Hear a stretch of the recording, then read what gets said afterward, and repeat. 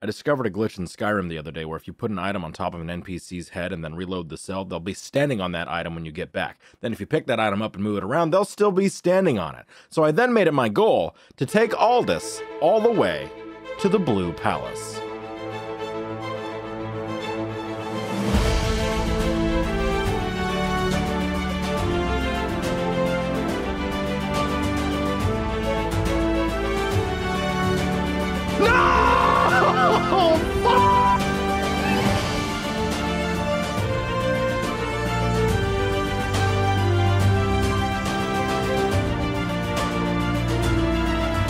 Captain Aldis is a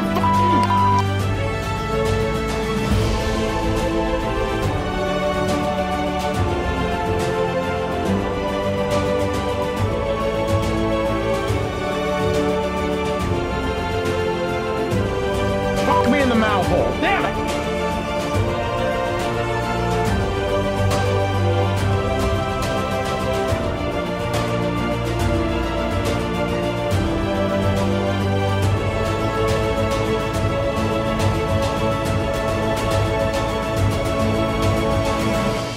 At this point, I thought the whole run was over and that I would have to start over from the beginning. But as long as you don't initiate dialogue and he doesn't say any of his passive lines, he doesn't start to pathfind back to his origin location. You can put the kettle right back on him, reset the cell, and then start from where he dropped off.